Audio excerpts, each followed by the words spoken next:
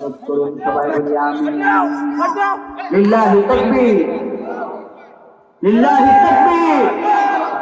হাসিবুর রহমান সাহেবের আগমন প্রধান তাকবীর প্রধান সাহেবের আগমন এই রংপুরবাসী ধন্য যে আল্লাহ গোলাম তিনি সারা বিশ্বে কোটি কোটি যুবকের মাঝে কোরআনের আওয়াজ ছড়িয়ে দিচ্ছেন। যাকে পেয়ে আমরা মিজানুর রহমান আজহারি ভাইয়ের শূন্যতাকে আমরা পূরণ করতে পেরেছি বলুন, আলহামদুলিল্লাহ। আমার ভাই স্টেজে আসছেন আসবেন আর আমি ছেড়ে দেবো। ভাই আপনাদেরকে কথা শোনাবেন, তফসির শোনাবেন।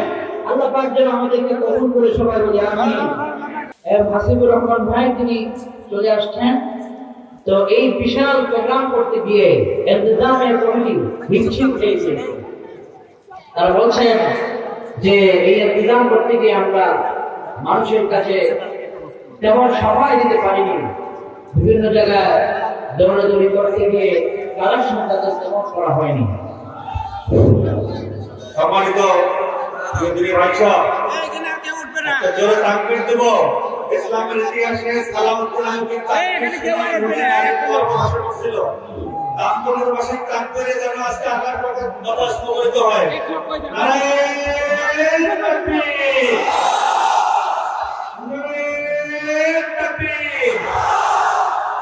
নারায়ণ ভাইয়ের আগমন হাসিবুল ভাইয়ের আগমন আবুলপুরের পক্ষ থেকে রংপুরবাসীর পক্ষ থেকে হাসিফ ভাইয়ের আগমন।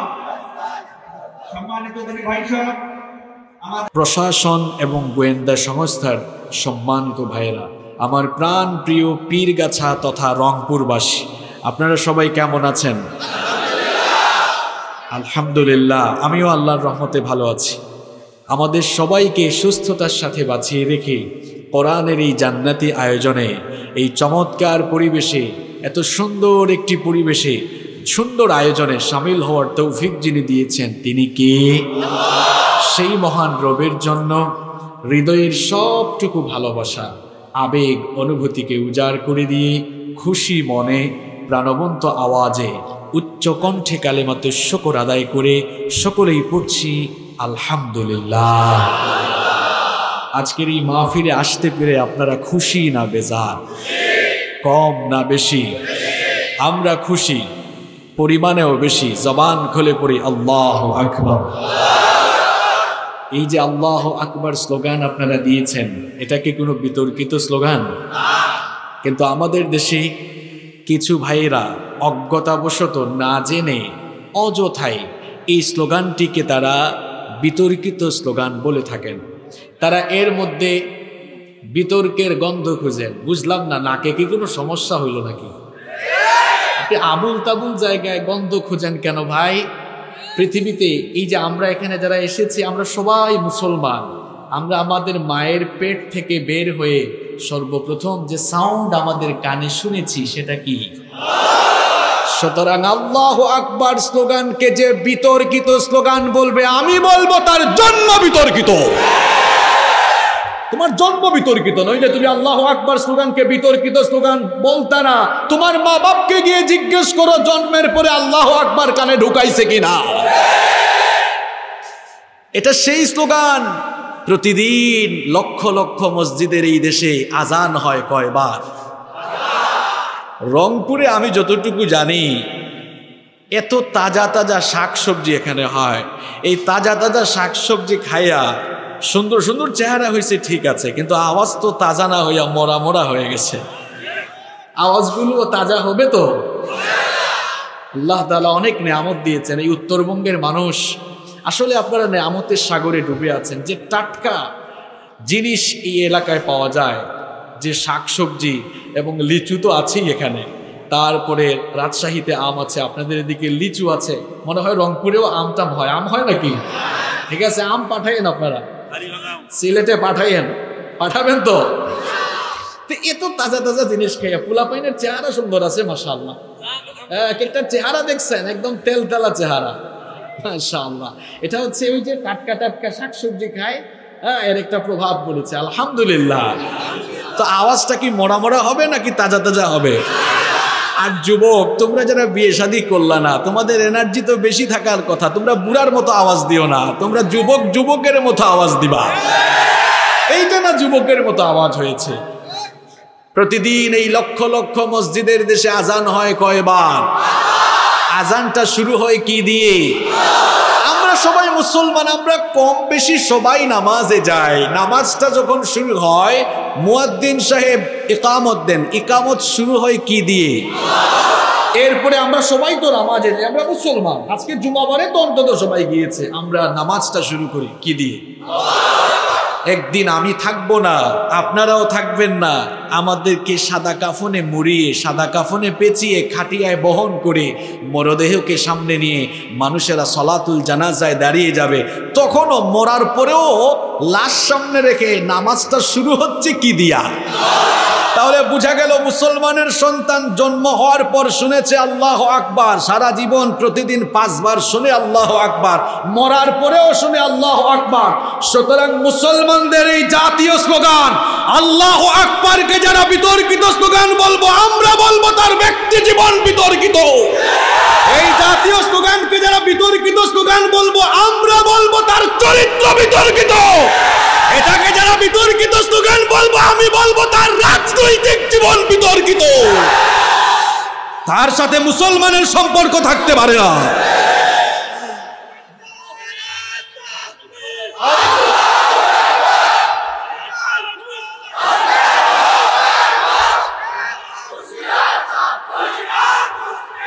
সম্মানিত ভাইয়েরা আল্লাহ আকবার এই স্লোগানটি যখন মক্কাতুল মুকাররমায় সর্বপ্রথম অমর ইবনুল খাত্তাব রাদিয়াল্লাহু নবীজির পারমিশন নিয়ে দিয়েছিলেন, তখন আবু জাহাল দুঃখিত হয়েছিল। আমি বলতে চাই, আল্লাহ আকবার স্লোগান শুনলে যদি কেউ জঙ্গিবাদের গন্ধ খুঁজে, জঙ্গিবাদের সাথে ইসলামের কোনো সম্পর্ক? ইসলাম এসেছে, জঙ্গিবাদ, সন্ত্রাসবাদ, উগ্রপন্থা আর চরমপন্থার শেকড়কে কেটে ফেলার জন্য। জঙ্গিবাদের সাথে ইসলামের কোনো সম্পর্ক নাই। বোমাবাজির সাথে ইসলামের কোনো সম্পর্ক নাই। ককটেলবাজির সাথে ইসলামের কোনো সম্পর্ক নাই। উগ্রবাদের সাথে, চরমপন্থার সাথে ইসলামের কোনো সম্পর্ক নাই। ইসলাম হচ্ছে সাম্য আর শান্তির ধর্ম। পৃথিবীতে আমরাই পৃথিবীতে আমরা যারা মুসলমান, আমরাই সবচাইতে পরধর্ম সহিষ্ণু জাতি। আমাদের কাছ থেকে শিখতে হবে কীভাবে পরধর্মের মানুষকে সম্মান জানাতে হয়। শোনেন শোনেন, এই ভারতকে মুসলমানরা আটশো বছর শাসন করেছে। কোনোদিন মুসলমানরা হিন্দুদের মন্দির পুড়ায় নাই। হ্যাঁ, মুসলমান থেকে শিখেন আমরা পরধর্মের লোককে কেমনে শ্রদ্ধা করি? এই সোনার বাংলাদেশে রোজা পূজা একসাথে হয় কিন্তু আমাদের হিন্দু ভাই বোনদের সাথে আমাদের ঠেলাঠেলি নাই বরং আছে হৃদ্যতার সম্পর্ক ঠিক কি না? এই সাম্প্রদায়িক সম্প্রীতির বন্ধন এই দেশে আছে। সুন্দর এই দেশ আমরা এখানে হিন্দু মুসলমান বৌদ্ধ খ্রিস্টান সবাই মিলেমিশে বাস করি। আমরা এখানে কখনোই সাম্প্রদায়িক সম্প্রীতি বিনষ্ট করিনি, করবও না, কারণ ইসলাম আমাদেরকে এটা শেখায়। ইসলাম বলেছে, অন্য ধর্মের দেবতাকেও তুমি গালি দিও না, কারণ সে তোমার আল্লাহকে গালি দিয়ে বসতে পারে। তাহলে ইসলাম আমাদেরকে শান্তির কথা বলছে না অশান্তির কথা বলছে?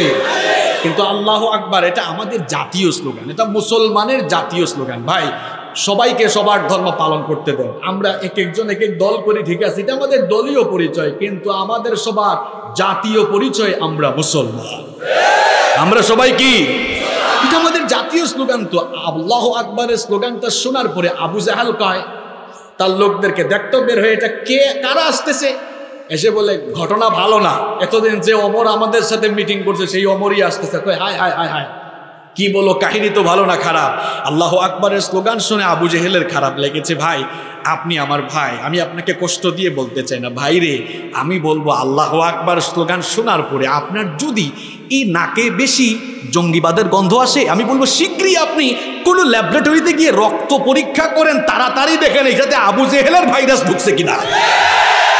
আপনি আমার ভাই, আমি আপনাকে বাঁচাতে চাই। আমি বলব, আপনি তাড়াতাড়ি যান তাড়াতাড়ি যান। রক্ত পরীক্ষা করেন, মানুষের রক্ত না আবু জাহেলের রক্ত ভালো করে দেখেন আমরা আল্লাহ আকবার স্লোগানকে বুকে ধারণ করি, হৃদয়ে ধারণ করি। এটা নিয়ে কথা বললে আমাদের কলি যায় লাগে, ঠিক কি না আমরা মিলেমিশে বাস করব। এই দেশটাকে আমরা সবাই সাম্প্রদায়িক সম্প্রীতির বন্ধনে পরিণত করে আমরা এই দেশটাকে সোনার বাংলাদেশ হিসাবে পরিণত করার জন্য সকল নাগরিক স্ব জায়গা থেকে আমরা কাজ করব, ইনশা চরমপন্থা, উগ্রপন্থা, এগুলোর সাথে ইসলামের কোনো সম্পর্ক নাই। এই যে আমাদের প্রশাসনের ভাইয়েরা তারা সন্ত্রাসের বিরুদ্ধে কাজ করেন, তারা অস্ত্র নিয়ে কাজ করেন। আর দেশের ওলামাই কেরাম, প্রশাসনের ভাইয়েরা, আপনাদের বন্ধু তারা, কেন জানেন? আপনারা অস্ত্র দিয়ে, আইন দিয়ে সমাজ থেকে সন্ত্রাস, দুর্নীতি নির্মূল করতে চান। আর দেশের ওলামাই কেরাম, তারা তাদের জবান দিয়ে আল্লাহর কোরআন আর নবীজির হাদিস বর্ণনা করে করে মানুষগুলোকে আধ্যাত্মিক শক্তিতে বলিয়ান করে, মানুষগুলোকে তারা অন্যায় থেকে, বিপদ থেকে তারা সুপথে নিয়ে আসার কাজ করছেন। ওলামায়ে কেরাম এই দেশের সরকারের বন্ধু, ওলামায়ে কেরাম প্রশাসনের বন্ধু, কারণ সরকার আর প্রশাসন মিলে দেশটাকে তারা যেমন সুন্দর দিকে নিয়ে যেতে চান, এদেশের গবেষক ওলামায়ে কেরাম গবেষণালব্ধ কোরআন সুন্নার কথা বলে বলে তারাও সাম্প্রদায়িক সম্প্রীতির সোনার বাংলাদেশ গঠনে অবদান রাখতে চান। এটা আমাদের বোঝা দরকার, কারণ ইসলাম শান্তির পক্ষে না অশান্তির পক্ষে? আপনারা সবাই শান্তির পক্ষে না অশান্তির পক্ষে? আল্লাহ তালা আমাদেরকে ইসলামের সুপথে পরিচালিত হওয়ার তৌফিক দান করেন। সম্মানিত ভাইয়েরা, রাত অনেক হয়ে গিয়েছে। এই টাইমে আমি মাহফিল শেষ করে রোহানা দেই। কিন্তু আপনারা রংপুরের মানুষ, বিভিন্ন রঙের বাহার এখানে। আপনারা এই সময় ওয়াজ শুরু করেন আমাদেরকে দিয়ে। হায় হায় হায় হায় হায়। আমরা সব জায়গায় এই সময় ওয়াজ শুরু করে দিই শেষ করে দিই। কারণ বারোটার আগে ওয়াজ শেষ করে ঘুমাইলে ভালো তাহলে আমার যুবক, তরুণ ছাত্র ভাইরা ফজরের নামাজে জামাতে যাইতে পারবে। কি ঠিক কুয়া কইছে? আমার মাহফিলে রাত পর্যন্ত চালাতে চাই শোনেন, গভীর রাত। আপনারা সেই সন্ধ্যা থেকে বসেছেন। লম্বা সময় বক্তৃতা করে আপনাদেরকে আমি কষ্ট দিব না। আমি মাত্র কয়েক মিনিট কোরআন সন্না থেকে হেদায়েতি আলোচনা করব আমার নিজের জন্য, আপনাদের জন্য। আপনারা উঠাউঠি না করে শেষ পর্যন্ত শুনবেন তো? এই মাহফিলগুলো যেন শুধু গরম গরম বক্তৃতার মঞ্চ না হয়। শোনেন শোনেন, নবীজির বয়ান শুনে সাহাবিরা কানতেন এখন কিছু কিছু জায়গায় মাহফিলে গেলে যুবকরা বলে, হুজুর, ফাটাই ফেলবেন। কি ফাটাইতাম? হ্যাঁ কেউ বলে না, হুজুর, এমন বয়ান করেন যেন মানুষের দিল নরম হয়ে বেনামাজি নামাজি হয়ে যায়। এমন আলোচনা এই মঞ্চে হওয়া দরকার যেন যে যুবক দাড়ি রাখে না, দাড়ি রাখার সিদ্ধান্ত নেয়। যে স্ত্রীর হক নষ্ট করেছে যেন স্ত্রীর হকের ব্যাপারে সচেতন হয়। যে মা বাবার হক নষ্ট করে সেজন্য মা বাবার হকের ব্যাপারে সচেতন হয়। এজন্য আমি আপনাদের সামনে হেদায়েতি কথা কোরআন হাদিস থেকে বলব। আল্লাহ যেন আমাকে সঠিকভাবে বলার, এবং হেদায়েতের নিয়তে বলার। আপনাদেরকেও যেন হেদায়েতের নিয়তে শুনবার তৌফিক আল্লাহ দান করেন। আমরা সবাই বলি আমিন। সম্মানিত ভাইয়েরা, এই পৃথিবী যেখানে আমরা বাস করছি, এটা চিরদিন টিকে থাকবে না। আমাদেরও যেমন শেষ আছে, আমাদের সবার শেষ আছে না? Every one will take the test of death প্রত্যেককেই মরণের স্বাদ ভোগ করতে হবে। আমরা যেমন সবাই চলে যাব, আমাদের জীবনের পরিসমাপ্তি যেমন আছে, এই দুনিয়ারও পরিসমাপ্তি আছে। এই মাথার উপরে বিস্তৃত আসমান, পায়ের তলায় বিশাল এই জমিন সব কিছু একদিন লন্ড ভণ্ড, চূর্ণ বিচূর্ণ মেসাকার হয়ে কেয়ামতের মহাপ্রলয়ঙ্কারী ঘটনা ঘটে যাবে। এই কেয়ামতটা কখন হবে? দুনিয়ার কোনো হুজুর কি সাল ইন্ডিকেট করে বলতে পারবে যে দু হাজার অত সালে কেয়ামত হয়ে যাবে? তাহলে আমাদের প্রশ্ন হলো, হুজুর, কেয়ামত কখন হবে? আল্লাহ বলেছেন, ইন্নামা ইলমুহা ইনদাল্লাহ। এই কেয়ামতের জ্ঞান যার কাছে আছে, তিনি কে? তবে আল্লাহ তালা তার যে হাবিবকে আমাদের হেদায়তের জন্য পাঠিয়েছেন, সেই প্রিয় নবী মোহাম্মদুর রসুল্লাহ সকলেই পড়েন সাল্লাল্লাহু আলাইহি ওয়াসাল্লাম। তিনি দেড় হাজার বছর আগে, দুনিয়া থেকে চলে যাওয়ার আগেই তিনি বলে গিয়েছেন, আখিরি জামানায়, কিয়ামতের আগে কি কি ঘটবে? নবীজি সব বলে গিয়েছেন এবং আখিরি জামানার ফেতনার ব্যাপারে নবীজি আমাদেরকে সাবধান, সতর্ক করে দিয়েছেন। আমরা একেবারে শেষ জামানার মানুষ, এই জামানার ফেতনা অত্যন্ত ভয়ঙ্কর। দেড় হাজার বছর আগে নবীজি এই ফেতনার জামানা, আখিরি জামানার ব্যাপারে আমাদেরকে সতর্ক করেছেন। শুধু তাই নয়, আমি অবাক। নবীজি দেড় হাজার বছর আগে ফেতনার জামানায় কি কি ঘটবে, সেটা তিনি আরও দেড় হাজার বছর আগে বলে গিয়েছেন। আল্লাহ আকবার। এই যুগে আমাদের কি করা দরকার? এই যুবক ভাইয়েরা, শোনো শোনো, এই জামানায় ইমান হেফাজত করা বড় কঠিন হয়ে গেছে রে ভাই। হাতের তালুতে কয়লা নেওয়া যেমন কঠিন, এই জামানায় নিজের ইমান বাঁচানো আরও বেশি কঠিন। এই জন্য নবীজি আখিরি জামানার উম্মতদের ব্যাপারে সাবধান, সাবধানতা অবলম্বন করার কথা যেমন বলেছেন, আখিরি জামানার উম্মতের মর্যাদার ব্যাপারে নবীজি বলেছেন, একদিন নবীজি একদিন নবীজি মসজিদে নববী থেকে বের হয়ে কুবার মসজিদের দিকে যাচ্ছেন। হঠাৎ করে নবীজি হু হু করে কেঁদে উঠলেন। সাহাবায়ে কেরাম জিজ্ঞেস করলেন, ওগো আল্লাহর রসুল, হঠাৎ করে আপনি হু হু করে কেঁদে উঠলেন কেন? নবীজি তখন বললেন, আমার দিলটা ছটফট করছে, আমার ভাইদের সাথে সাক্ষাৎ করতে মন চাইছে। সাহাবিরা বললেন, ওগো আল্লাহর রসুল আমরা কি আপনার ভাই নই? নবীজি তখন বললেন, না, তোমরা আমার ভাই নও। তোমরা হচ্ছ আমার সাহাবি। তোমরা হচ্ছ আমার সাথী। তোমরা আমার ভাই নও। সাহাবিরা তখন বললেন, ওগো আল্লাহ রসুল, তাহলে আপনার ভাই কারা? আপনার ভাইদের পরিচয় দেন। নবীজি তখন বললেন, আখেরি জামানায় ফেতনার সময় কেমতের আগে আমাকে না দেখে আমার সুন্নতকে কামড়ে ধরে আমাকে অনুসরণ করবে যারা? আমার ভাই হলো তারা। সাহাবিরা তখন বললেন, ওগো আল্লাহর নবী, আখেরি জামানার ওই উম্মতের প্রতি আপনার এত দয়া, এত মমতা, দুনিয়ায় তাদের সাথে আপনার সাক্ষাৎ করতে মন চায়। আমাদেরকে আপনি ভাই বললেন না, কিন্তু তাদেরকে আপনি আপনার ভাই বললেন। দুনিয়াতে যদি তাদের প্রতি এত মায়া হয়, জানি না আখেরাতে তাদের প্রতি আপনার কত মায়া হবে। নবীজি তখন বললেন সাবিরা শোনো শোনো, আখিরি জামানায় ফেতনার সময় আমাকে না দেখে আমার উপরে ইমান এনে আমাকে অনুসরণ করবে যারা, কেয়ামতের মাঠে আমার সাফায়াত পেয়ে যাবে তারা। কেয়ামতের মাঠে নবীজি আমাদের দিকে, সাহাবিদের দিকে যদি তাকান, একবার, দুইবার আমাদের দিকে তাকাবেন একশো বার। কারণ আমরা নবীজিকে না দেখে ইমান এনেছি, সাহাবিরা নবীজিকে দেখে দেখে ইমান এনেছেন। কিন্তু আমরা তো নবীজিকে দেখি নাই, না দেখে নবীজিকে তো ভালোবাসি। এত মহব্বত করি নবীর আদর্শকে আমরা অনুসরণ করি। এই যুগের ফেতনার, এই যুগের শেষ জামানায়, আখেরি জামানায় উম্মতদেরকে যেমন মর্যাদা দেওয়া হয়েছে ঠিক তেমনি ভাবে আখেরি জামানায় ইমানকে টিকিয়ে রাখাটাও সহজ হবে না, কঠিন হবে। এজন্য নবীজি বলেছেন, সাবধান হও। আখেরি জামানায় কি কি ঘটবে দেড় হাজার বছর আগেই নবীজি বলে দিয়েছেন। এই ফেতনার জামানায় কি কি ঘটবে আপনাদেরকে শোনাবো। এখান থেকে আমরা বেঁচে থাকব কীভাবে? মা বোনদেরকে সহ, বাবাদেরকে, ভাইদেরকে সবাইকে বলব, কেমনে ইমান বাঁচায় রাখব? সেই ব্যাপারটি নিয়ে আজকে আলোচনা হবে। ইনশা নাম্বার ওয়ান, আমি অতগুলা তো বলতে পারব না। দেখি না কয়টা বলা যায় সংক্ষিপ্ত সময়। এক নম্বর, নবীজি বলছেন, শেষ জামানায়, আখিরি জামানায় মসজিদগুলো মারাত্মক সুন্দর হবে। মসজিদের শুভা সৌন্দর্য বৃদ্ধি পাবে। কিন্তু মসজিদে ঢুকলে যাদেরকে দেখা যাবে, এদের বেশিরভাগই হেদায়াত বঞ্চিত মানুষ দেখা যাবে। নবীজি বলেছেন, আখেরি জামানায় মসজিদগুলো সুন্দর থাকবে। ইটালিয়ান টাইলস, সুন্দর সুন্দর টাইলস, উঁচু উঁচু মিনার মসজিদের ভেতরে এসি। মসজিদে ঢুকলে হালাল খুর কম পাওয়া যাবে, মসজিদের ভেতরে হারাম খুর বেশি পাওয়া যাবে। দেড় হাজার বছর আগে এই জন্য নবীজি বলে গিয়েছেন, একটা দুইটা হাদিসের কিতাব নয়, বিখ্যাত হাদিসের পাঁচটি গ্রন্থে এই হাদিস এসেছে। বুখারী, মুসলিম, ইবনে মাজা নাসাই আবু দাউদ, বিখ্যাত হাদিসের এই পাঁচটি গ্রন্থে হাদিস বর্ণিত হয়েছে। নবীজি বলেছেন, লা তাকুমুস সাআহ হাত্তা ইয়াতাবাহান নাসু ফিল মাসাজিদ। নবীজি বলেছেন, ততদিন পর্যন্ত কিয়ামত হবে না। যতদিন না পরস্পর মানুষেরা মসজিদ নিয়ে গর্ব করে, মানুষগুলো মসজিদের শুভা সৌন্দর্য বৃদ্ধির কাজে মনোযোগী হবে।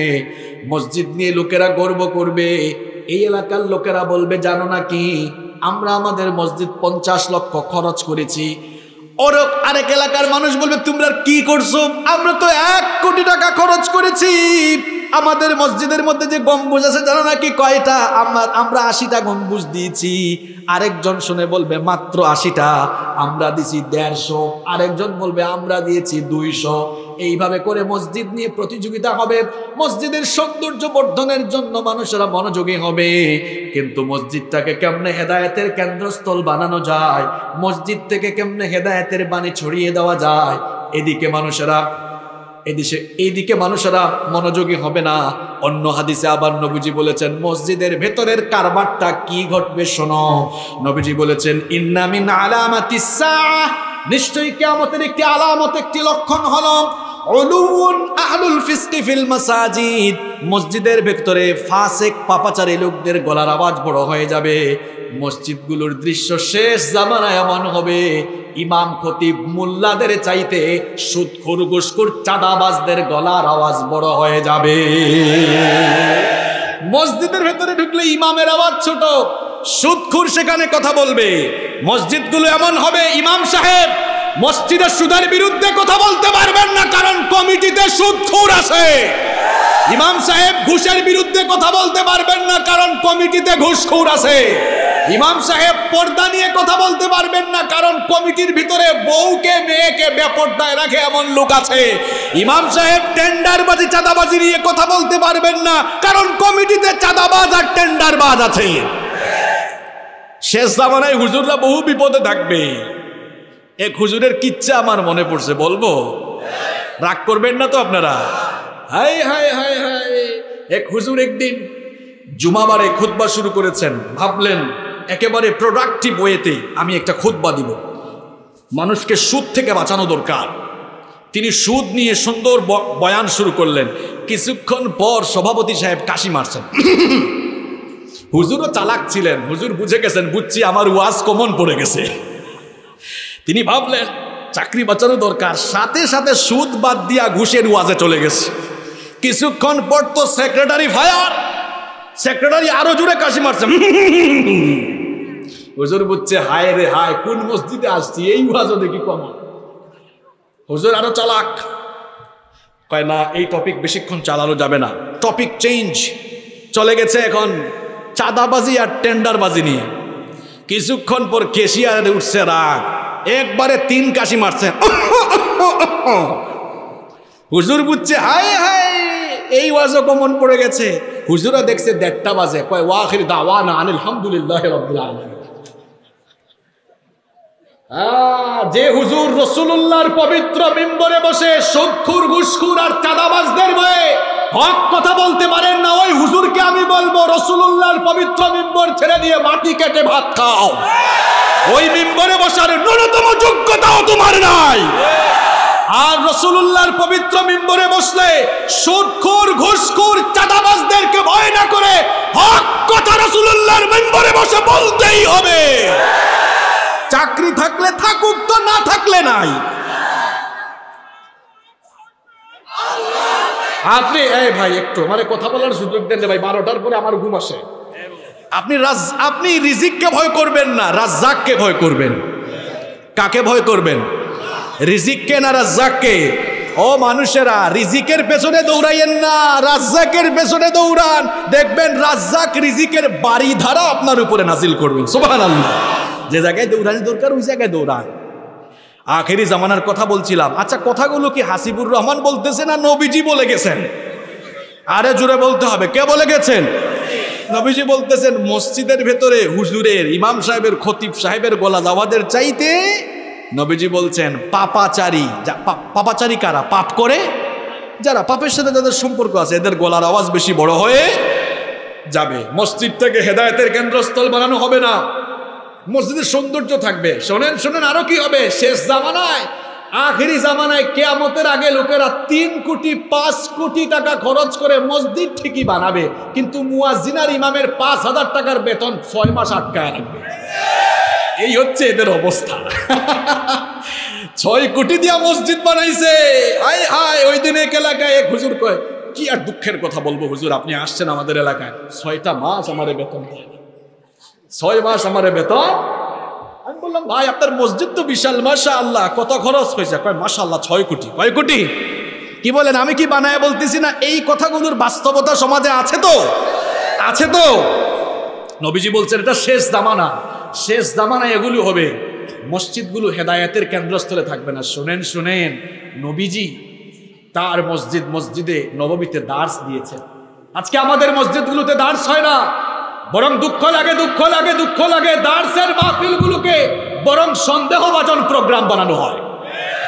আজীব অবস্থা, নবীজির মসজিদে নববীতে আহলুসুফা ছিলেন না? সেখানে দার্স হতো, তালিম হতো। আমাদের মসজিদগুলোতে তালিম নাই। দার্স নাই। কত যুবক এখানে আছে শুদ্ধ করে কোরআন পড়ে না। মসজিদগুলোতে যদি বিশুদ্ধ কোরআনের কোর্স থাকতো, আমার যুবক, তরুণ ছাত্রগুলো, তারা বিশুদ্ধ করে কোরআন শিখে ফেলতে পারতো। মসজিদ ভিত্তিক সমাজ ব্যবস্থা যদি থাকতো, সমাজ সুন্দর হতো, নবীজি তার মসজিদে বিচার করেছেন। নাকি করেন নাই? আমি কি ভুল বলেছি? মসজিদে বিচার করেছেন। আমরা মসজিদে, আমি জানি না রংপুরের মানুষ কি করেন। হয়তো বিভিন্ন রঙের মানুষ এখানে আছেন, এই জন্য নাম রংপুর। কিছু কিছু মসজিদে আমি দেখেছি আমাদের সিলেটে, চিটাগংয়ে, ঢাকায়, মসজিদে দুনিয়াবি কথা বলবেন না। এ পাগলা, সাজদাতে দিতেছি, মসজিদেতে সাজদাতেই নামাজে, সাজদাটা আখিরাতে দিতেছি না, দুনিয়াতে দিতেছি। কথা বুঝেন না আমার? আপনারা যে মসজিদে গিয়ে সাজদা দেন, এখন দুনিয়ার জীবন চলে না আখেরাতের জীবন চলে? তো দুনিয়ায় সাজদা দিচ্ছেন, তো দুনিয়ায় দুনিয়াবি কথা আপনি আপনি মসজিদের দুনিয়াবি কথা বলতে পারবেন না। এ কেমন অযৌক্তিক কথা? এটা তো ফালতু কথা। এর কথার কোনো ভিত্তি নাই। রসুল্লাহ মসজিদের ভেতরে বিচার করেছেন। মসজিদের ভেতরে দার্স দিয়েছেন। মসজিদে বিয়ে পড়িয়েছেন। আমাদের মসজিদ থেকে বিয়ে শাদী আউট করে আমরা যখন ক্লাবে নিয়ে গিয়েছি, তখন বিয়েগুলোতে অশ্লীল গান বাজনা ঢুকে গিয়ে বিয়ের মাজমাগুলো তখন অপবিত্র হওয়া শুরু হয়েছে রসুল্লাহর মসজিদের সাথে আমাদের মসজিদের কোনো মিল আজ পাওয়া যাচ্ছে? আল্লাহ আমাদেরকে হেদায়াত দিয়ে আমাদের কলিজাটাকে তুমি সিরাতুল মুস্তাকিমের দিকে পরিচালিত করো। আরও আসতে বলেন আমিন। শেষ জামানার একটা ফেতনার কথা বলেছি। মসজিদের ভেতরেও ফেতনা। মসজিদের ভেতরে আরেক ফেতনা তো আছে, হাত কোন জায়গায় বাঁধবে? আরে বাপরে বাপ, হুজুরদেরকে বলছি বাপ ভাইয়েরা, উম্মতের করে আগুন লেগেছে রে ভাই, আর কেরোসিন ঢাইলেন না, পারলে পানি ঢেলে দেয়।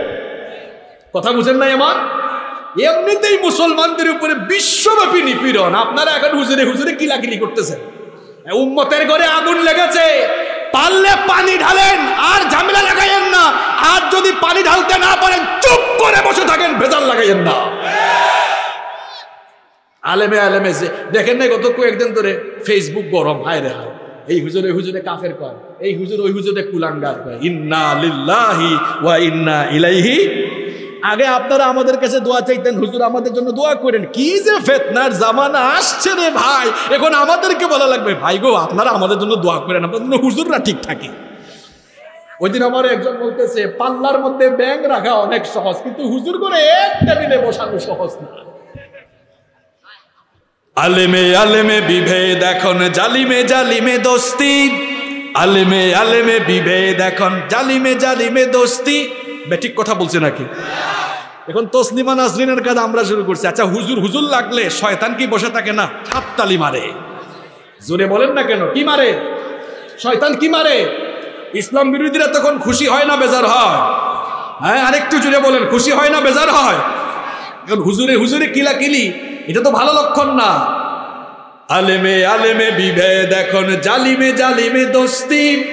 আলেমে আলেমে বিভেদ এখন, জালিমে জালিমে দোস্তি। পথের ঠিকানা জানা নেই, কারও কে কোথায় পাবে স্বস্তি? কে কোথায় পাবে স্বস্তি? সালাতে দুহাত কোথায় বাঁধবে না নাভির উপরে বুকে? আমিন বলবে চুপিসারে নাকি সজরে আওয়াজ ফুকে? হুজুররা এখন আসতে আমিন না জুড়ে আমিন, এইটা নিয়েও ভেজাল লাগাই দিছে। আরে ভাই, যার মন চায় আসতে পড়ুক, যার মন চায় জুড়ে পড়ুক, আলহামদুলিল্লাহ আমি একাধিকবার আল্লাহর ঘরে যাওয়ার সুযোগ হয়েছে। হারামাইন শরীফাইন জিয়ারত করেছি। কেউ আসতে বলে, কেউ জুড়ে বলে। ঠেলাঠেলি আছে? ঠেলাঠেলি আছে? আপনারা ঠেলাঠেলি করেন কেন? যে ঠেলাঠেলি শুরু হয়েছে দেখবেন কয়দিন পরে এই ঠেলাঠেলিতে মানুষ নাবির উপরে হাত বাঁধবে না, বুকের উপর, বুকের উপরেও বাঁধবে না, হাত বাঁধবে কপালের উপর। কেন এই কথা বলছি জানেন? শুনেন শুনেন, এরকম যদি ঠেলাঠেলি চলে এক লোক আসরের ওয়াক্ত এক জায়গায় মসজিদে আজান হয়েছে। চিন্তা করল, আজান হয়ে গিয়েছে মসজিদে ঢুকে যায়। ঢুকে গিয়েছে মসজিদে। চিন্তা করল, আমি তো নাবির উপর হাত বাঁধি, জানি না এখানে নাবি না বুকে। আচ্ছা যা, কপালে যা আছে তা নাবির উপরেই বাঁধি। এখন দুর্ভাগ্যক্রমে ওই মসজিদের সবাই হাত বাঁধে বুকের উপরে। নামাজ শেষে তারা ধর ভাই ভাই কোথেকে আসছো তুমি হ্যাঁ? নাবির উপর হাত মতো দৌড়ানি শুরু করছে। হেও দৌড়ানি খাইয়া গেছে। হয়রান হইয়া আরেক জায়গায় গিয়ে মাগরিবের আজান হয়েছে হায় রে হায় মাগরিবের নামাজে যখন ঢুকছে, কয়, আসরের নামাজে তো খাইছি এক দৌড়ানো। মাগরিবের নামাজে কি আমি আর এই ভুল করব? বানছে হাত বুকের উপরে। দুর্ভাগ্য দুর্ভাগ্যক্রমে ওই বস্তিতে সবাই হাত বাঁধে নাভির উপরে। নামাজ শেষে দিছে তারে দৌড়ান আরেকটা। দৌড়ানো খাইয়া গেছে। এরপরে যাচ্ছে, এশার আজান হয়েছে চিন্তা করল, আসরে খাইলাম এক দৌড়ানে। হাত বাঁধলাম নাভির উপরে। মাগরিবে হাত বাঁধলাম বুকের উপরে তাও খেলাম আরেক দৌড়ানি এশার নামাজে আর কি আর করব? কপালে যা আছে তাই হোক, কপালেই হাত বাঁধলাম আল্লাহ আকবার। একজন কয়, কি ব্যাপার ভাই? আপনি কপালে হাত বাঁধতেছেন ঘটনা শুনে কয়, ভাই রে ভাই, নাভির উপরেও বিপদ, বুকেও বিপদ, জুড়ে আমিনও বিপদ, আসতে আমিনও বিপদ।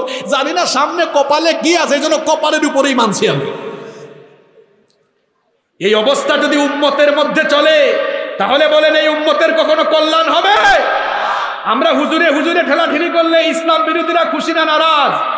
শুনেন শুনেন, একটা লাঠি আপনাদের হাতে যদি দেই, যদি বলেন, ভাই, ভাঙা ফেলেন তো, ভাঙা ফেলা কঠিন না, সহজ? সহজ। যদি একশো বা এক হাজার লাঠি দিয়ে বলি, ভাঙেন তো, ভাঙতে পারবেন?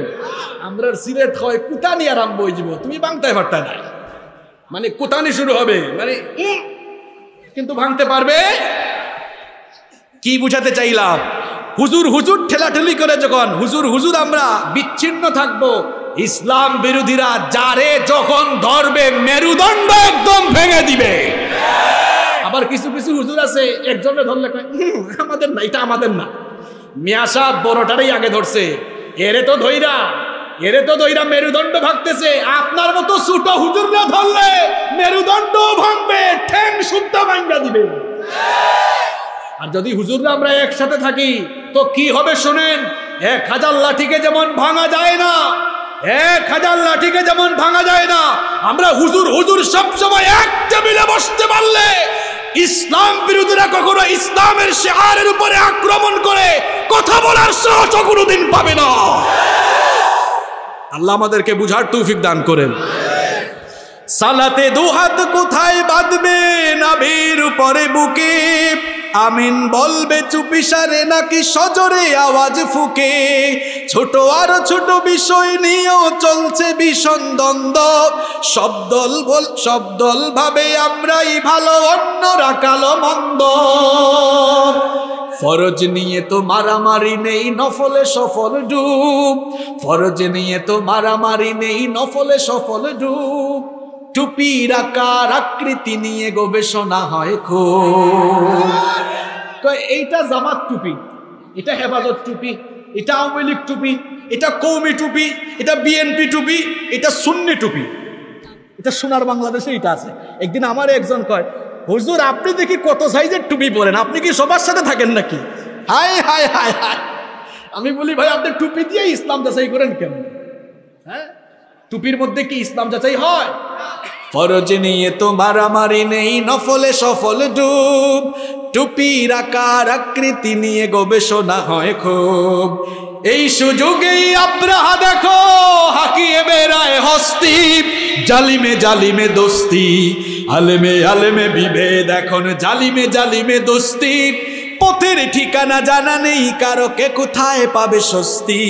কে কোথায় পাবে স্বস্তি? খ্যাতির নেশায় আলেমের মন ব্যস্ত, ভীষণ ব্যস্ত। এই সমাজের সব কাজ তাই জালিমের হাতে ন্যস্ত। নিজের হিসেব করে না আলে মনের কথা ভাবে। বিরোধকারীরা জান্নাতে নাকি জাহান নামেই যাবে। কাফের ফাসেক লক্ষ ফতুয়া পকেটেই আছে জমা। আল্লাহর কাছে ছাড় আছে, তবু তার কাছে নাই ক্ষমা। হেরার চেরাগে চিনতে পারেনি এখনও আপন পর। এটা হেরার চেরাগ। হেরার চেরাগে চিনতে পারেনি এখনও আপন পর। জালিমের হাতে চলে গেছে তাই নিজের সাজানো ঘর। হেরার চেরাগে চিনতে পারেনি এখনও আপন পর। জালিমের হাতে চলে গেছে তাই নিজের সাজানো ঘর। সালতানাতের মিনার হারিয়ে আশ্রয় তার বস্তি। জালিমে জালিমে দোস্তি, আলেমে আলেমে বিভেদ, এখন জালিমে জালিমে দোস্তি। আলেমে আলেমে বিভেদ এখন, জালিমে জালিমে দোস্তি। পথের ঠিকানা জানা নেই, কারও কে কোথায় পাবে স্বস্তি? কে কোথায় পাবে স্বস্তি? মাসাল্লাহ না, আমি আকলবান লোকদেরকে ইশারায় বুঝাই গেছি, যা বুঝার সব এখানে আছে, বুঝে নেন। আল্লাহ আমাদেরকে হেদায়াত দান করেন। আমি শেষ জামানার কথা বলছি হ্যাঁ শেষ জামানা এই শেষ জামানায় ফেতনা মসজিদেও ঢুকবে, আলেমের ভিতরেও। আর আমাদের বোনদের মধ্যে ফেতনা ঢুকবে না। হুম? আমার আম্মা জানরা আর বোনরা বলতেছে কি ব্যাপার হুজুর একটা আসছে খালি দিকে এই দিকে ওয়াজ চলে আমাদের কোনো বাজার করে? তাদের উদ্দেশ্যেও কিছু বলা দরকার আছে তো? শেষ জামানায় তাদের অবস্থা কি হবে? শেষ জামানার নারীরা পর্দা ছাইরা বেপর্দা হয়ে যাবে। বলেছেন মোহাম্মদ সাল্লাল্লাহু হ্যাঁ বুরখা ঠিকই আছে কিন্তু শয়তান বুরখার ডিজাইনটা চেঞ্জ করে দিয়েছে। বুরখা কিন্তু আছে। আধুনিক ফ্যাশন আধুনিক পর্দা শুরু হয়েছে এখন। এই হায়, কি বলতাম আর? এখন মেয়েরা যে বুরখা পরে, এমন টাইট ফিট বুরখা, ওই যে নবীজির হাদিস আমার মনে পড়ে গেল নিসা ওহম কাসিয়াতুন আরিয়াত। নবীজি বলছেন, শেষ জামানার নারীরা কাপড় পরেও উলঙ্গ থাকবে। অর্থাৎ এমন কাপড় পরবে, একদম শরীরের ভাঁজ বুঝ সব বুঝা যাবে। এখন নারীরা এমন বুরখা পরতেছে, রং বেরঙের বুর্খা। মা বোনেরা কালো রঙের বুর্খা পরবেন, কালো রঙের বুর্খা। এমন বুরখা পরবেন, ঢিলে ঢালা, যেন অঙ্গ প্রত্যঙ্গ বুঝা না যায়। এমন বুরখা আপনাকে পরিধান করতে হবে। শুনেন ভাইরা, একটা হাদিস আপনাদেরকে শোনাই। শুনলে কি মনে হবে জানেন? হায় হায়, নবীজি কি রংপুরের অবস্থা দেখে দেখে হাদিসটা এখন বলছেন নাকি? এমনই মনে হবে। রেডি তো সবাই রেডি তো? এই যুবকরা, তোমরা আমার চাচাদের, একটু জিমা নিয়ে আসছে তারা তো চাচা। একটু বয়স হয়েছে, তোমরা একটা তাকবীর দিয়া চাচাদের ঘুম শেষ করে দাও। লিল্লাহি তাকবীর। তোমরা যারা বিয়ে করো নাই, তারা দাও, একটু এনার্জেটিক তাকবীর লাগবে। লিল্লাহি তাকবীর। ওই দেখেন, কয়েকজন চাচা এমনি এমনি উঠছে। কয়, কি হইল হঠাৎ করে? হ্যাঁ চাচা, কি হয়েছে শোনেন। এখন এমন এক হাদিস বলব। আপনি বলবেন, হায় হায়, নবীজিকে আমাকে দেখে দেখে বললেন নাকি এটা? বলছিলাম, শেষ জামানায় নারীরা পর্দা ছাইরা কি হয়ে যাবে? কথা কন না কেন? কি হয়ে যাবে? নবীজি বলেছেন, এই হাদিসটা মুসনাদে আহমদের ভেতরে বর্ণিত হয়েছে। নবীজি বলেছেন, সায়াকুনু ফি আখিরি উম্মতি রিজালু ইয়ারকাবুনা আলা সুরুজিন কাআশবাহির রিহাল। নবীজি বলেছেন, শেষ জামানায় আমার উম্মতরা উটের পিঠের উপরে যে জিন থাকে, যারা আরব দেশ সফর করেছেন, তারা দেখেছেন উটের পিঠের উপরে একটা জিন থাকে, ওটাকে জিন বলে। নবীজি বলেছেন, আখিরি জামানায় উটের জিন সদৃশ্য সুন্দর সুন্দর যানবাহনে আরোহণ করে। আমার আখিরি জামানার উম্মতরা মসজিদে যাবে। নবীজি বলেছেন, আখিরি জামানায় আমার উম্মত লেটেস্ট যানবাহন ব্যবহার করবে। দেখেন না কত সুন্দর সুন্দর গাড়ি মানুষ ব্যবহার করে। বাংলাদেশি এখন মানুষেরা র্যাঞ্জ রুভার ইউজ করছে। বিএমডাব্লিউ ইউজ করা শুরু করেছে। ল্যান্ড ক্রুজার তো ইউজ করছে দামি দামি ব্র্যান্ডের গাড়ি ইউজ করে। আমার শেষ জামানার উম্মতেরা মসজিদে আসবে। তারা যখন মসজিদে আসবে আল্লাহ নবী বলেছেন, ইয়ানজিলুনা আলা আবওয়াবিল মসজিদ। নবীজি বলছেন, মসজিদের দরজার সামনে এসে গাড়ি থেকে নামবে, মসজিদের সামনে পার্কিং থাকবে, পার্কিং এ গাড়ি রেখে মসজিদে ঢুকবে। আর যে লোকগুলো মসজিদে ফুটানি কইরা গাড়ি চইরা আসলো, নবীজি বলছেন, আমার শেষ জামানার এই উম্মতগুলো কেমন হবে শোনো শোনো। নিসা ওহম কাসিয়াত মারিয়াত তাদের ঘরের বউ মেয়ে বিবি বাচ্চা সবগুলারে ব্যাপর্দা রেখে এমন কাপড় চুপড় পরবে তাদের বউ। সন্তানরা, মেয়েরা এমন কাপড় পরবে, কাপড় পরে উলঙ্গ থাকবে। এই রকম নারীদেরকে ব্যাপর্দা বানায়া ঘরে রাইখা দামি দামি কাপড়, দামি দামি গাড়ি ইউজ করে মসজিদের দুয়ারে এসে নামবে। হ্যাঁ? মসজিদে এখন যারা আসতেছে, কেমন? ওদের মধ্যে তো অনেকে আছে। হে মসজিদে ফুটানি কইরা আসছে, দামি সেন্ট, দামি পারফিউম লাগাইয়া। ওইদিকে তার বউ বেপর্দা হইয়া একদম পেট পিট সব সময় স্টেডিয়ামের মতো এলাকাবাসীরে দেখায়। আবার এমন বহু মানুষ মসজিদে আসে, তার মেয়ে কলেজে ইউনিভার্সিটিতে বেপর্দা হয়ে যায়। তাহলে নবীজিদের হাজার বছর আগে যা বলছেন, শেষ জামানার ব্যাপারে, এটা তো মিলে নাই আমাদের জামানায়। হ্যাঁ? মিলছে নাকি? এরপরে নবীজি আরও বলেছেন, শোনো শোনো, তাদের ঘরের মহিলাদের স্টাইল আর ফ্যাশনের কথা শোনো। ফ্যাশন তারা কেমনে করবে? নবীজি বলেছেন, আলা রুউসিহিম কাসনিমাতিল বুখতিল ইজাফ। স্টাইলিশ হিজাব তারা পরবে, বুখতি উটের কুজের মতো। মাথার মধ্যে ভাঁজ দিয়া দিয়া হিজাব পরবে। অবশ্যই এই ধরনের স্টাইলিশ মেয়েরা মহিলারা রংপুরে নাই। হায় হায়, আছে? রং বেরঙের হিজাব আর বুঝতে উঠে পূজার মতো বাস দিয়া দিয়া। হিজাব করে না? যুবকরা তোমরা দেখো নাকি? না দেখলে আসো, জানছো কেমনে হ্যাঁ? মাঝে মাঝে তোমরাও তাকাও না? বাংলাদেশের রাজধানীর নাম কি? এটাও জানে না রংপুরের মানুষ। নাকি আপনারা রংপুর জোর করে বানাই ফেলবেন? বাংলাদেশের রাজধানীর নাম কি? ঢাকা। এবার বলেন তো, আপনার সাড়ে তিন হাত বডির রাজধানী কোথায়? হ্যাঁ? কি বলছে? এ পোলা পাইন তোমরা কথা কও না কেন? বাংলাদেশের রাজধানী কোথায়? আপনার শরীরের রাজধানী কোথায়? ফেস এখন আমার বোনরা লিপস্টিক লাগাইয়া আসকারা মাস্কারা লাগাইয়া ব্রু প্লাক কইরা স্টাইলিশ হিজাব কইরা শরীরের রাজধানী দেখায় বুঝি আপনারা ঘর থেকে বের হন না?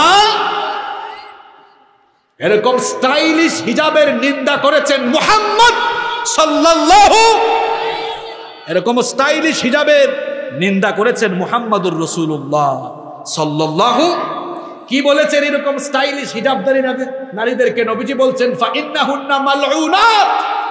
এই স্টাইলকারী হিজাবদারি মহিলাগুলো আমার উম্মতের লানত প্রাপ্ত মহিলারা, উম্মত ইলানু হুন্না তাদেরকে তোমরাও লানত দাও। এটা মোল্লার কথা না নবীজির কথা। তাহলে নিজেদের ঘরের মহিলাদেরকে পর্দায় রাখবেন তো? হ্যাঁ এখন তো আওয়াজ বেরো না। নিজেদের ঘরের মহিলাদেরকে পর্দায় রাখবেন তো? কারা কারা রাজি নাই হাত তুলেন? ওই দেখেন, আল্লাহর কুতুব কয়েকজন আছে। ঘরের মহিলাদেরকে পর্দায় রাখবেন তো? অনেকে আছে, নিজের বউরে এমন অবস্থায় নিয়ে বের হয়। শাড়ি টাড়ি পরাইয়া পেট পিট বের করে শুনেন, আমিও বলি, যেমন কুকুর, তেমন মুগুর দরকার। এদেরকে কোরআন হাদিস দিয়ে আমাদের উস্তাদরা বহু ওয়াজ করেছেন, এরা সাইজ হয় নাই। তো এই বেহায়াগুলারে ভালোভাবে বোঝানো দরকার। আচ্ছা বলেন তো, বউটা নিজের না মাইন্সের জনগণের? তো তোমার বউয়ের পেট পিট খোলা রাইকা বাইর হও। তুমি কি তোমার নিজের বউরে জনগণের সম্পদ বানাইছো নাকি হ্যাঁ? বেহায়া, বেসরম, নির্লজ্জ কোথাকার, তোমার মধ্যে হায়া সরম বলতে কিচ্ছু নাই। কিচ্ছা তো আরেকটা মনে পড়ছে, বলতাম? বলব? এক ভাই নতুন বিয়ে করেছে হ্যাঁ তারপরে বের হইছে। রাজধানী টাজধানী খোলা আর কি। ছোট ভাই দেখছে একটা এলাকার। কয়, ভাই, আপনার সাথেই টাকা, কয়, চিনোস না? এটা তোর ভাবি। কয়, ওয়াও। কি বলছে? ওয়াও। আবার পাশে আরেক ছোট ভাই কয়, ভাই, ভাবিকে জুস লাগতেছে। হ্যাঁ কয়, থ্যাংক ইউ ছোট ভাই। এ, ব্যাকল, কার জুস কে খায় রে? আবার কিছু বেহায়া আছে, নিজের বউয়ের ফটো ফেসবুকে আপলোড করে রংপুরে এগুলা নাই। হ্যাঁ? এখন বলেন তো, ভাইরা ফেসবুক পার্সোনাল না পাবলিক সাইট কথা কন না কেন? ফেসবুক পার্সোনাল না পাবলিক সাইট বউ পার্সোনাল না পাবলিক ধরা খাইছে, বউ পার্সোনাল না পাবলিক আবার বলাই, বলেন, বউ পার্সোনাল না পাবলিক হ্যাঁ ফেসবুক পার্সোনাল না পাবলিক একটা পার্সোনাল আরেকটা?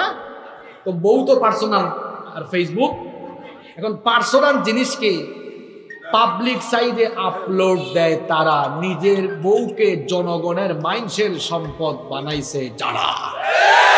তোমার মতো বেহায় আমি আর দেখি নাই। তোমার রুচিতে সমস্যা, তোমার রুচিতে সমস্যা। তোমার এই কুরআন হাদিস দিয়ে কি ওয়াজ করতাম? তোমার বউয়ের পেট পিট তোমার বউয়ের রাজধানী, অন্য অন্য মানুষ দেখে। ধর্মে তোমার রুচিতে সমস্যা আছে।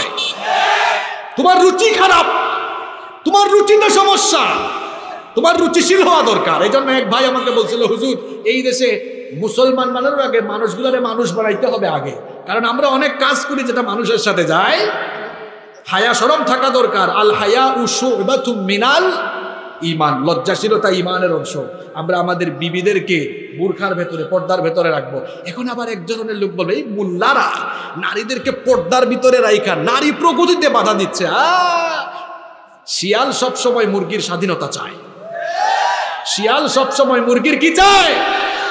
আমরা নারী শিক্ষার বিরুদ্ধে নাই। জাহেলের দল, শোনো, এই পৃথিবীতে সর্বপ্রথম নারী শিক্ষার কথা বলেছেন মোহাম্মদ সাল্লাল্লাহু আলাইহি ওয়াসাল্লাম। আমরা নারী শিক্ষার বিরুদ্ধে নই।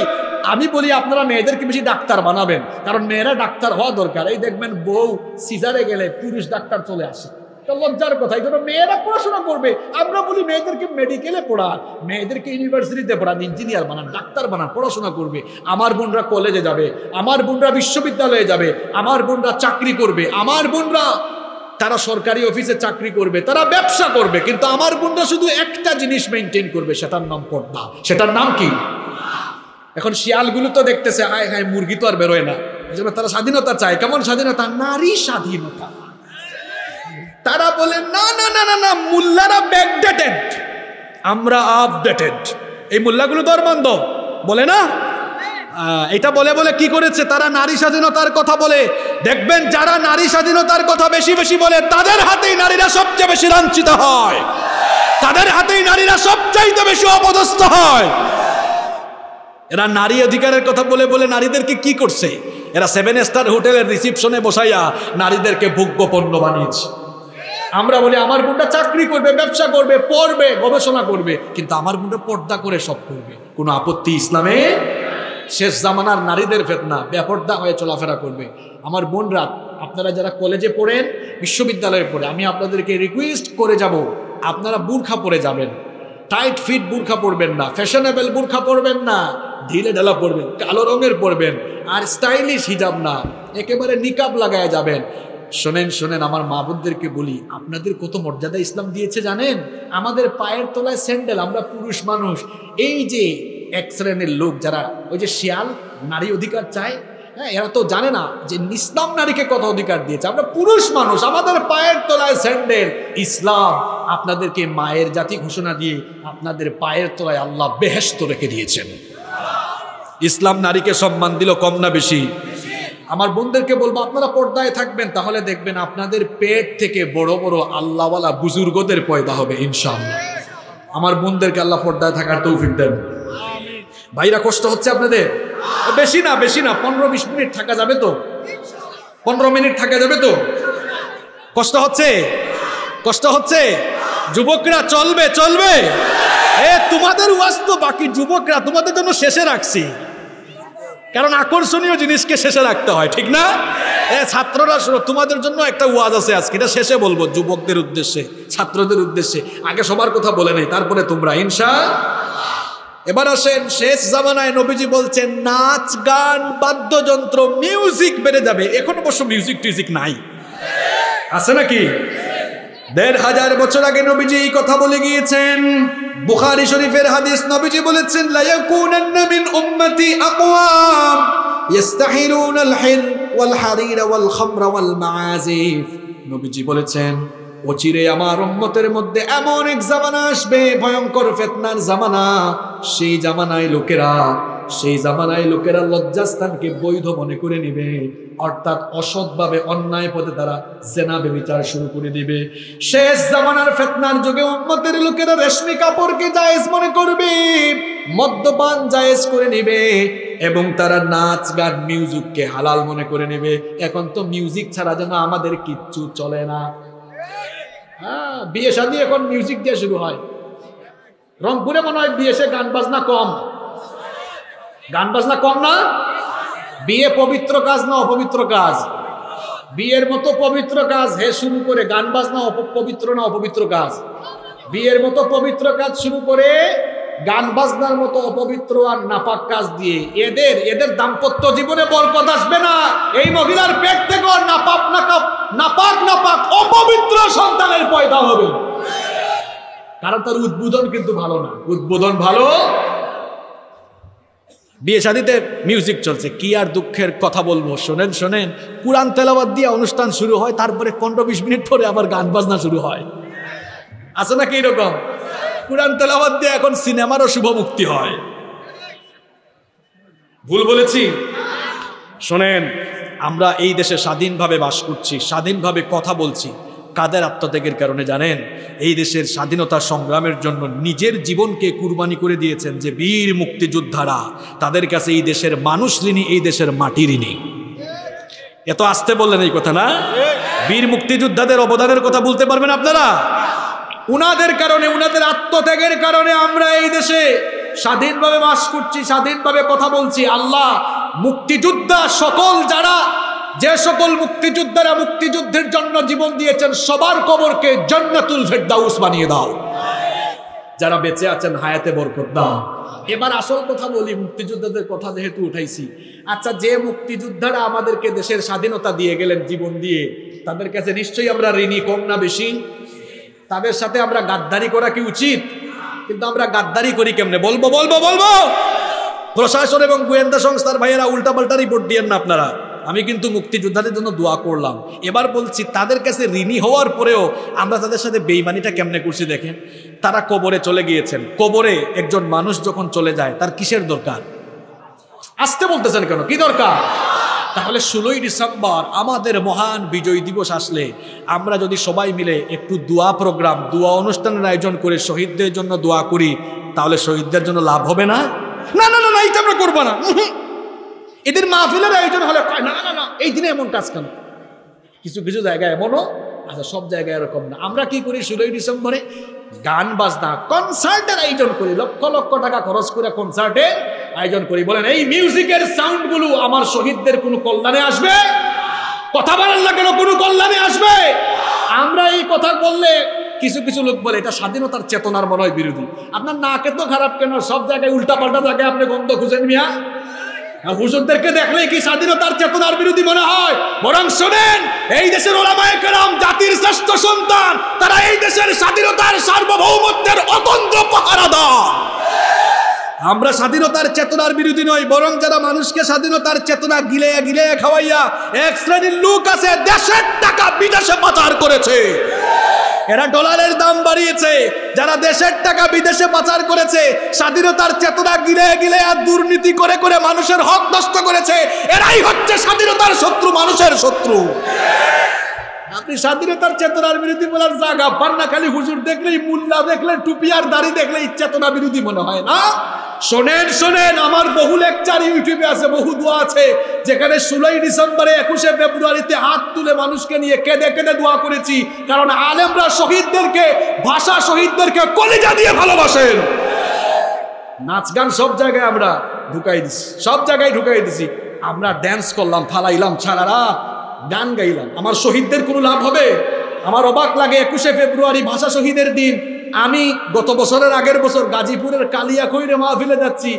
আমি অবাক একুশে ফেব্রুয়ারি ভাষার জন্য সালাম, বরকত, রফিক জীবন দিয়েছে পৃথিবীর ইতিহাসে। এইরকম নজির নাই আর ভাষার জন্য জীবন দিয়েছে আমার দেশের দামাল ছেলেরা। ভাষার জন্য জীবন দিয়েছে। আল্লাহ তাদেরকে মাফ করে দেন।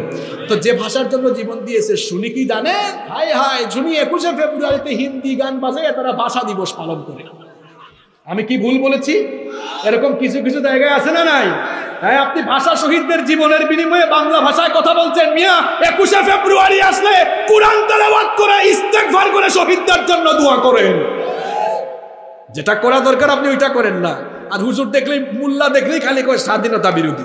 স্বাধীনতার চেতনার বিরোধী না। শহীদদেরকে আমরা ভালোবাসি। এই দেশের অনেক বুজুর্গ বুজুর্গ উলামারা তাহাজ্জুদের নামাজে উঠে চোখের পানি ছেড়ে দিয়ে স্বাধীনতার মহান মুক্তিযোদ্ধাদের জন্য দোয়া করে থাকেন। এই মাহফিলে হাজার হাজার মানুষকে নিয়ে আমরাও আজ দোয়া করছি, আল্লাহ মহান মুক্তিযুদ্ধের জন্য যারা জীবন দিয়েছেন, সবাইকে তুমি জান্নাতুল ফেরদাউস দান করো।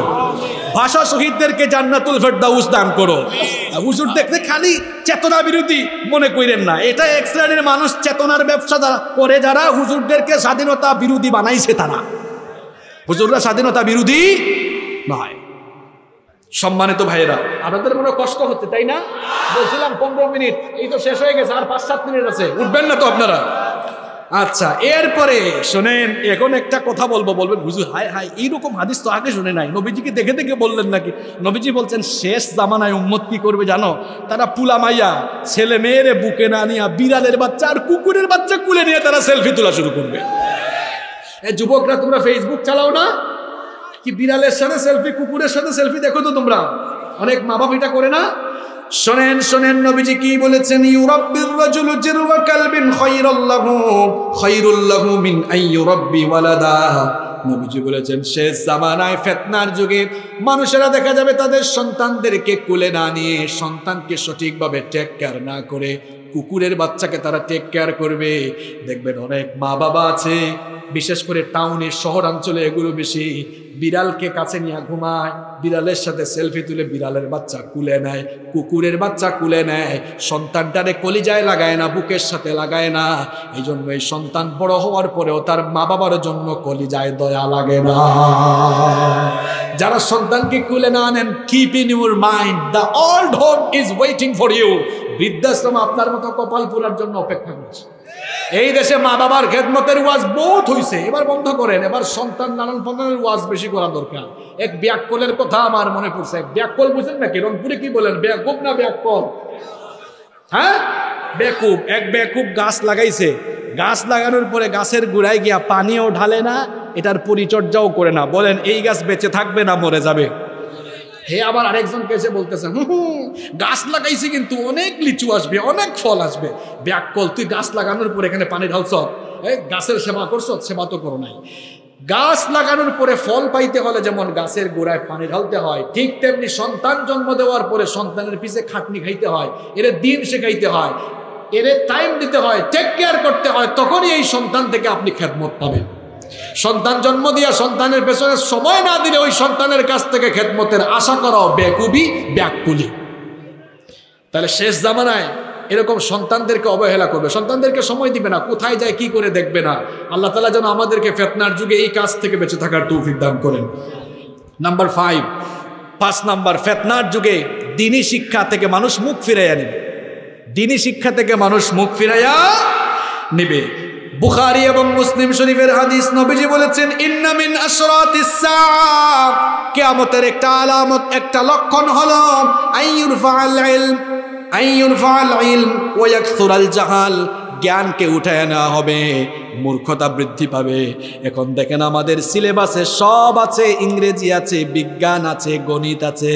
কিন্তু আমাদের ছেলে মেয়েগুলো, কলিজার টুকরা সন্তানগুলো, তারা তাদের সিলেবাসের ভেতরে কোরআন, হাদিস, ফিক, ইসলামের জ্ঞান জানার জন্য সিলেবাসে কিচ্ছু নাই। আমরা এই কাম না করলে কেমন তো আসবে না। এই জন্য নবীটিও বলেছেন, তোমরা শেষ দামা এই শেষ দামানা এই কামগুলাই করবা। তোমরা ইসলাম উঠাই দিবা। দিনই শিক্ষায় শিক্ষিত হবে না। আরে আমার যে কষ্ট লাগে বিশ্ববিদ্যালয় কলেজের ছেলেরা যে সুন্দর ইংরেজিতে কথা বলে, ব্রিটিশদের মতো তাদের প্রোনাউন্সিয়েশন কিন্তু তারা কোরআন খুললে দেখে দেখে কোরআন পড়তে পারে।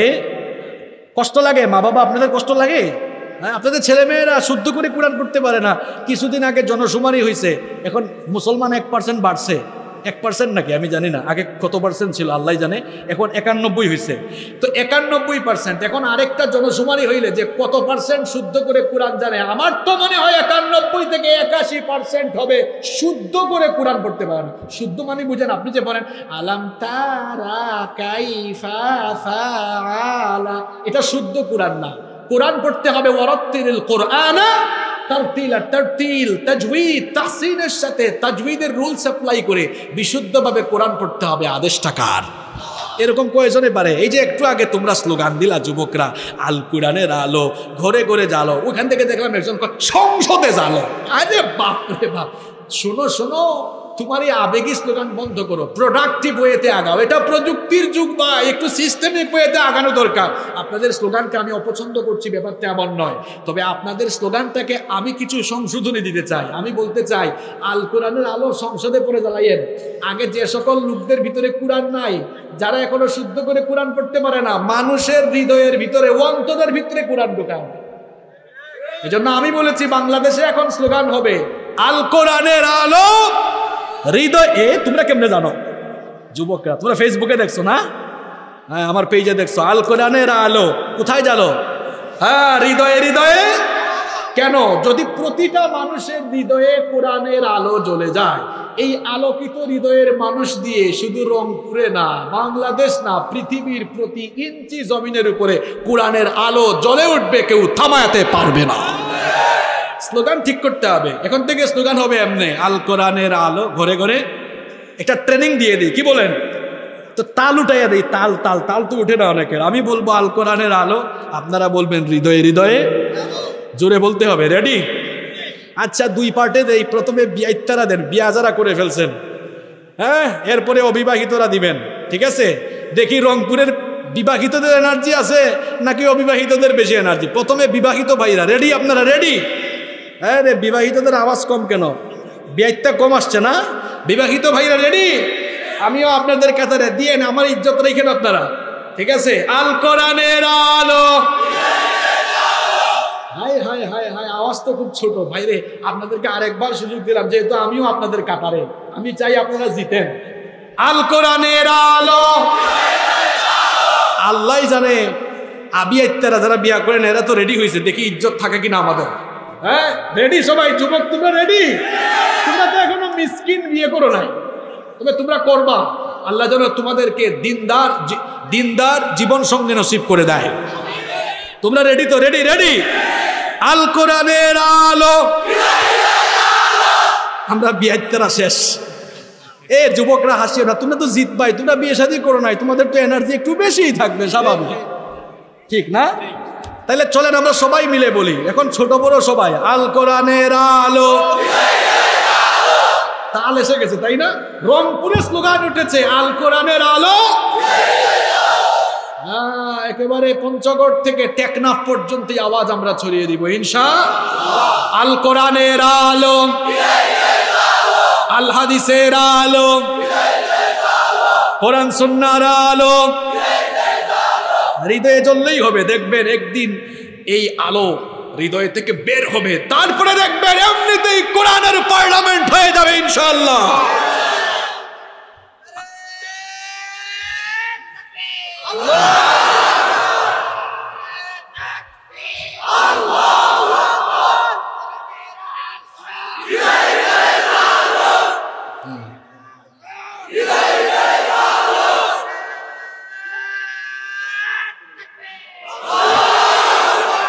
মাশা আল্লাহ রংপুরের মানুষ যে তাজা তাজা সবজি খায়, আজকে প্রমাণ দিয়েছে। একদম তাজা তাজা আওয়াজই হয়েছে, আলহামদুলিল্লাহ। আপনাদের এলাকার কুলাপঞ্জের চেহারা সুরত খুব সুন্দর মাশা আল্লাহ আমি যখন আজকে আসছি, তখন থেকেই তাকাইতেছি, ভাবলাম কিরে সবগুলা সুন্দর, একটার চেয়ে আরেকটা সুন্দর। আলহামদুলিল্লাহ পড়েন। এটা কার নেয়ামত? আচ্ছা বলছিলাম, শেষ জামানায় ফেতনার যুগে কি হবে? দিনই জ্ঞান উঠে যাবে। দেখেন আসলেই তো তাই। আমরা কি করছি? এখন আমরা কি করছি? আমরা আমাদের ছেলে মেয়েদেরকে ওয়া কোকো এবিসিডি শেখাই আগে আলিব্বা তাসা শেখাই পরে অনেকে শেখাইও না। আবার কি বলেছেন? হায় হে এই হাদিস পড়লে তো আমার মনে হয় এটাকে আমাদেরকে দেখে নবীজি বলছেন নাকি? নবীজি বলছেন শোনো লা তাকুমুস-সাআহ, ততদিন পর্যন্ত কেয়ামত হবে না। কতক্ষণ পর্যন্ত? হাত্তা ইউজালা কিতাবুল্লাহি আরা। যতদিন না মানুষ দিনই জ্ঞান শিক্ষাকে নিজেদের জন্য, নিজেদের প্রেস্টিজের জন্য মানহানিকর মনে না করে ততদিন পর্যন্ত কেয়ামত হবে না। আজকে আমরা ব্রিটিশ কারিকুলামে ইংলিশ মিডিয়ামে ছেলে মেয়েদেরকে পড়াচ্ছি। হ্যাঁ অবশ্যই পড়াবেন, কারণ আধুনিক বিশ্বে থেকে টিকে থাকতে হবে। কিন্তু প্রশ্ন হলো, এখন আলিফ বাতাসা শিখাইলেন না কেন? এটা হুজুরদের শিক্ষা, এটা লাগবে না, আছে না নাই? শোনেন, আপনার সন্তানকে ও আ খ এ বি সি ডি শিখাইয়েন পরে আলিফ বা তাতা শেখাবেন সবার আগে। নইলে আলিব্বা বা দিনই শিক্ষা না পাইয়া ডাক্তার হইলে এটা কষাই হবে। ইঞ্জিনিয়ার হইলে রডের বদলে বাঁশ দিবে।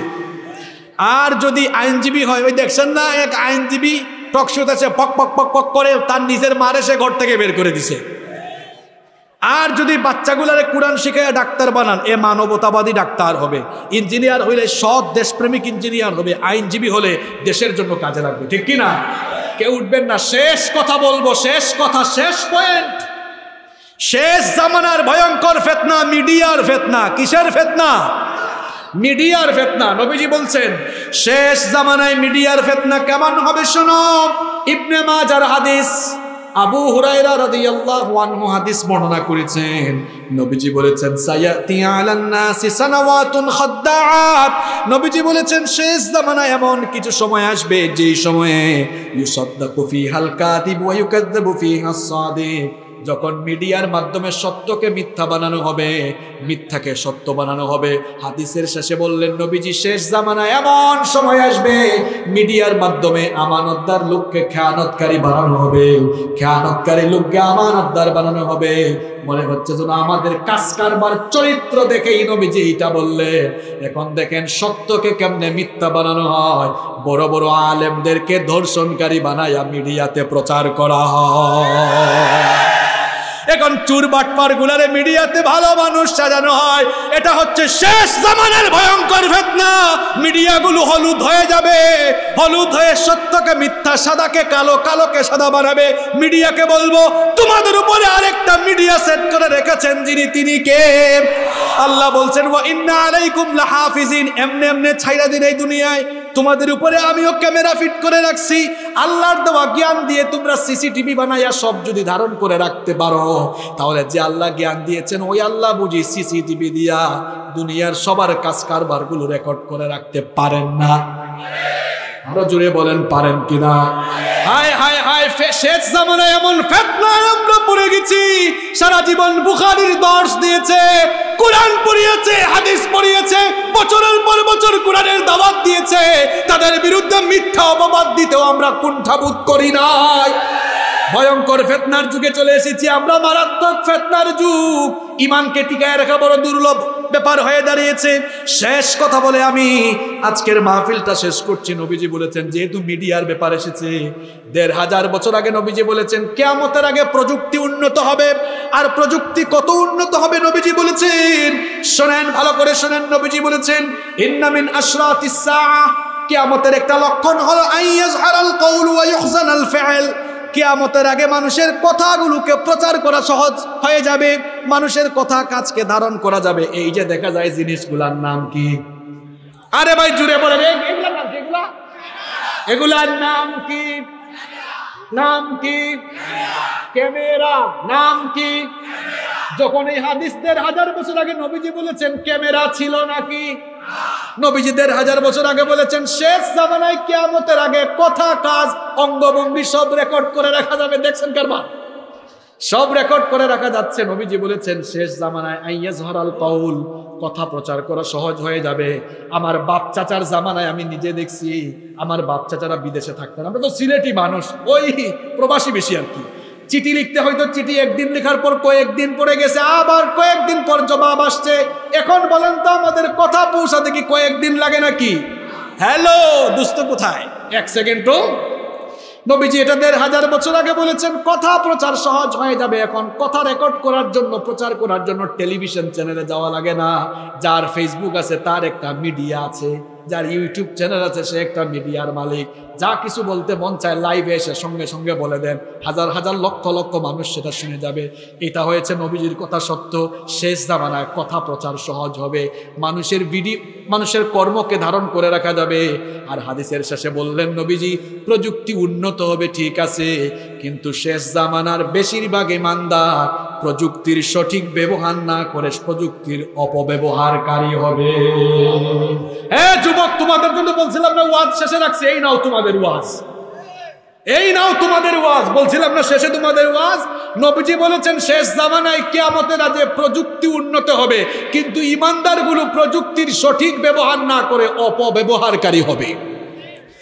তোমরা এখন দেখছি, পাবজি আর বাবজি খেলাও।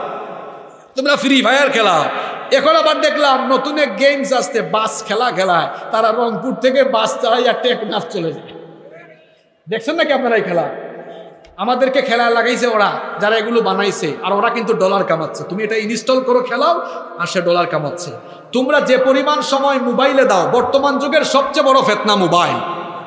সবচেয়ে বড় ফেতনা মোবাইল। ছাত্ররা শোনো, কলেজ, বিশ্ববিদ্যালয়ে তোমরা যারা পড়ো, তোমরা যে পরিমাণ সময় মোবাইলের পেছনে দাও, এই পরিমাণ সময় যদি পড়ালেখার গবেষণায় দিতা, নিউটন, আইনস্টাইন, বেঞ্জামিন, ফ্রাঙ্কলিন এই দেশের ঘরে ঘরে পয়দা হয়ে যেত। ঠিক তো কইছো, তোমরা তো আবার পড়াশোনা করবা না। আবার তোমরা রাত দুইটা, তিনটা পর্যন্ত সজাগ থাকো। তোমরা যুবক, মানুষ তোমাদের চেহারায় লাবণ্য থাকবে স্মার্টনেস থাকবে, কিন্তু তোমরা রাতের বেলা ঘুমাইতে না, ঘুমাইতে ঘুমাইতে গালের মধ্যে বিচি উঠে গেছে। এরপরে গাল টাল ভাঙ্গে এমনি হয়ে গেছে।